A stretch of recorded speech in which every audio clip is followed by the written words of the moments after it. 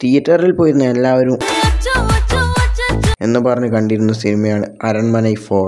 ഭാര്യയുമായി വഴക്കിട്ടിറങ്ങി മോളെയും കൂട്ടി തോണി തോഞ്ഞു പോകുന്ന പൂജാരിയുടെ തോണിയുടെ സാധനം ഒരു കുടത്ത് തട്ടി അത് പൊട്ടുന്നു. കുടം പൊട്ടിയുടനെ അതിലുണ്ടായിരുന്ന ബാക്കോ കേക്കോ എന്തോ ഒരു സാധനം പൂജാരിയുടെ മോളെ കൊന്ന് അവളുടെ മേത്ത് കയറുന്നു. അല്ല മിസ്റ്റർ ബാക്ക് പ്രേതങ്ങളൊക്കെ ഇപ്പോൾ പച്ചമീനാണോ കഴിക്കാറ്?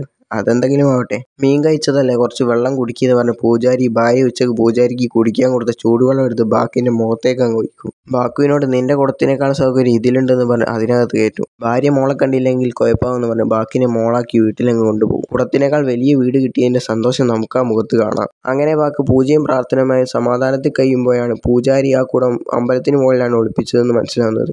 അതൊരാളെ കൊണ്ട് എടുപ്പിച്ച് ബാക്കി ശക്തിയൊക്കെ തിരിച്ചെടുക്കാൻ നോക്കുന്നു. പക്ഷെ ഇപ്പൊ ശക്തിയൊന്നും അതിനകത്തില്ല. ബാക്കിന് ശക്തിയൊക്കെ തിരിച്ചു കിട്ടാൻ ഇവിടുത്തെ പൂരം നടക്കുന്ന ദിവസത്തിൽ ജനിച്ച മൂന്ന് പേരെ പൂരം കഴിയുന്നതിന് മുമ്പ് കൊല്ലണം. ഒരു പോലീസ് ഓഫീസറെ ഒരു യൂട്യൂബറെ പിന്നെ നമ്മുടെ അണ്ണന്റെ പെങ്ങളുടെ മോളെ. നമ്മുടെ അണ്ണൻ തമന്ന തങ്കച്ചി എന്ന് പറഞ്ഞ ജീവനാണ്. അത് നമുക്കും ജീവനാണല്ലോ. എടാ നീ വിഷയത്തിൽ നിന്ന് തെന്നി മാറുന്നു. ആ സോറി കഥയിലേക്ക് തിരിച്ചു വരാം. തങ്കച്ചിയുടെ പേരുണ്ടെന്ന് പറഞ്ഞ് റോട്ടിലൂടെ ഓടിപ്പോകുന്ന ഒരു പെണ്ണിനെ അവളുടെ അച്ഛൻ കുണ്ടയുടെ കയ്യിൽ നിന്ന് അണ്ണൻ രക്ഷിക്കുന്നു. എന്നാൽ പന്ത്രണ്ട് വർഷം മുമ്പ് ഇഷ്ടപ്പെട്ട ഒരാളുടെ കൂടെ ഇറങ്ങിപ്പോയതുകൊണ്ട് അണ്ണൻ ഇതുവരെ തങ്കച്ചിയെ പിന്നെ കണ്ടിട്ടില്ല. എന്നാൽ ഇതേ സമയം തങ്കച്ചിയും മക്കളും ഭർത്താവും ആമസോൺ കാട്ടിനേക്കാളും കൊടൂരമായ ഏതൊരു വനത്തിൽ ഒരു മന വാങ്ങി അവിടെ താമസിക്കുകയാണ്. അങ്ങനെ നമ്മുടെ തങ്കച്ചീന്റെ മോളെ തന്നെ കൊല്ലാൻ ബാക്കു തീരുമാനിക്കും. തികച്ചും സ്വാഭാവികം. ജോഗിങ്ങിന് പോയ തങ്കച്ചിയുടെ ഭർത്താവിനെ തട്ടി ബാക്കു വീട്ടിലേക്ക് വരും. മക്കളെ ചോദിച്ചു വന്ന ബാക്കിനോട് ഭർത്താവാണെന്ന് കരുതി റൊമാൻസിന് ശ്രമിക്കുകയാണ് നമ്മുടെ തങ്കച്ചി. ഓടിക്ക മോളെ അത് പ്രേത.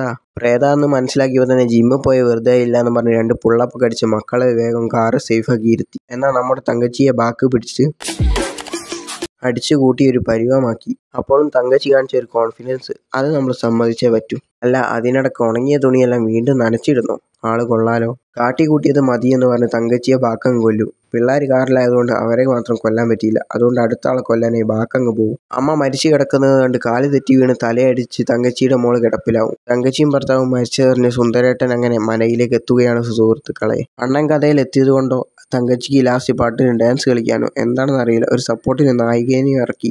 ഈ മനയിലാണെങ്കിലോ പ്രേതത്തിനെ തട്ടി തടഞ്ഞിട്ട് എവിടെ കൂടെ നടക്കാൻ പറ്റാത്ത അവസ്ഥ. കുമ്പള വിട്ടാലും സെൽഫി എടുത്താലും ബോൾ കളിച്ചാലും പ്രേതവും കൂടും. ഇനി കൊതുകിനൊന്ന് കൊല്ലാന്ന് വെച്ചാൽ ഞാനും രക്തമല്ലേ കുടിക്കുന്ന എന്നെ കൊന്നെന്ന് പറഞ്ഞ് പ്രേതം അവിടെയും വന്ന് നിൽക്കും. അങ്ങനെ പോലീസുകാരനെ ബാക്ക് ഊക്കി എയറിലാക്കി കൊല്ലും. യൂട്യൂബറും നമ്മുടെ അണ്ണനും കാറിൽ വന്നുകൊണ്ടിരിക്കുമ്പോൾ എട്ടുകാലിക്ക് ചാണകത്തിൽ വീണ് പരിണാമം സംഭവിച്ച രൂപത്തിൽ വന്ന് അവരെ പേടിപ്പിക്കും. അണ്ണൻ ഇത് കണ്ട് കണ്ടം വയ്യോടും.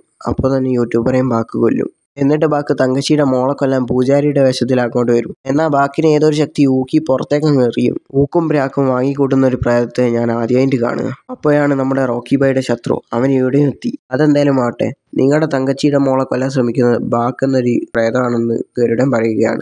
എന്നാൽ ഭയം വേണ്ട ജാഗ്രത മതി. തങ്കച്ചിയുടെ പ്രേതം അവിടെ ഉണ്ട് അതുകൊണ്ടാണ് മോൾ സേഫ് ആയിരിക്കുന്നതെന്നും അയാൾ പറയുന്നു. ഏതായാലും വീട്ടുകാരൊക്കെ അറിഞ്ഞ സ്ഥിതിക്ക് ഇനി ഒരു മറ വേണ്ടല്ലോ എന്ന് പറഞ്ഞ് തങ്കച്ചി പ്രേതം വീണ്ടും അവിടെ കിടന്ന് അർമാദിക്കാൻ തുടങ്ങും. ബാക്കിനെ പിടിക്കാൻ പോയ ഗരുഡനെ ബാക്ക് പിടിച്ച് ഗരുഡന്റെ റോളം ഏറ്റെടുക്കും. എന്നിട്ട് നാലഞ്ച് ആളെയും കൂട്ടി പോയി തങ്കച്ചിയുടെ ഡെഡ് ബോഡി അങ്ങ് കുഴിച്ചെടുക്കും. കുറെ കാലം കുടത്തിൽ കിടന്നാലേ മേലല്ലെങ്കിൽ ശീലമില്ലാതിരിക്കും അത് വിട്ടുകള. കുഴിയിൽ നിന്ന് ഡെഡ് ബോഡി എടുത്തതും വീട്ടിൽ പിള്ളേർക്ക് ചോറ് കൊടുത്തുകൊണ്ടിരുന്ന തങ്കച്ചി പ്രേതം പറന്ന് ഗരുഡന്റെ മുന്നിലെത്തും. അതായത് ഇപ്പോൾ നമ്മുടെ ഗരുഡന്റെ റോൾ ചെയ്യുന്ന ബാക്കുവിന്റെ മുന്നിലെത്തും. പിന്നെ മാർവലുമായി ടൈപ്പ് ചെയ്ത് ലോകം കണ്ടതിൽ വെച്ച് ഏറ്റവും വലിയ യുദ്ധം തന്നെ അങ്ങ് വെച്ച് കാച്ചും. പിന്നല്ല. എന്നാ മാർവൽ വരെ ഇത് കോപ്പിയാണെന്ന് പറഞ്ഞ് സെഡായി നിൽക്കുന്ന നമ്മുടെ തങ്കച്ചിയെ ഗരുഡൻ അങ്ങ് കൂട്ടിക്കെട്ടി കത്തിക്കും. അങ്ങനെ കുട്ടിയെ തെരഞ്ഞ് വീണ്ടും ബാക്ക് മനയിലെത്തും. വീട്ടുകാർ പറയും അയ്യോ സാറേ അവർ നേരത്തെ തന്നെ പൂരം കാണാൻ പോയല്ലോ. പിന്നെ ഒന്നും നോക്കിയില്ല. പ്രാർത്ഥനയും ഭക്തിയും കഴിഞ്ഞിരുന്ന ബാക്കല്ലേ? അതുകൊണ്ട് തന്നെ പൂരത്തിനങ്ങ് പോകാൻ കരുതി. പടം തീരാനായില്ലേ? പ്രേതമാണെന്നൊന്ന് കരുതിക്കോട്ടെ എന്ന് കരുതി മാത്രം ഒരു നാലഞ്ച് ക്ലോൺസിനെ അങ്ങ് ബാക്കിറക്കി. എന്നിട്ട് കുട്ടിയെ പിടിക്കാനായി കഠിനമായ പരിശ്രമത്തിലാണ് മക്കളെ. പക്ഷേ ഒരു സംശയം പ്രേതമാണെ പറന്നു പോയാൽ പോരെ ഇങ്ങനെ കയറിപ്പോണോ അവസാനം ആ കോലത്തിന്റെ കണ്ണിന്റെ അടുത്തെത്തിയപ്പോൾ നമ്മുടെ അണ്ണൻ താഴോട്ട് ചാടും. വാക്ക് താഴോട്ട് ചാടാൻ നിൽക്കുമ്പോൾ അപ്പുറത്തെ കോലത്തിലുള്ള ദേവി ചോദിക്കും ഇതുവരെ നീ പോയില്ല സിനിമ കഴിയാനായി എന്നും പറഞ്ഞ് ശൂലം എടുത്ത് പുറത്തേക്ക് അങ്ങ് ഇറങ്ങി വരും. ദേവി ഒറ്റക്കുത്ത് ബാക്കി രണ്ട് തുണ്ടം അങ്ങനെ കഥ അവസാനിക്കുകയാണ് സുഹൃത്തുക്കളെ.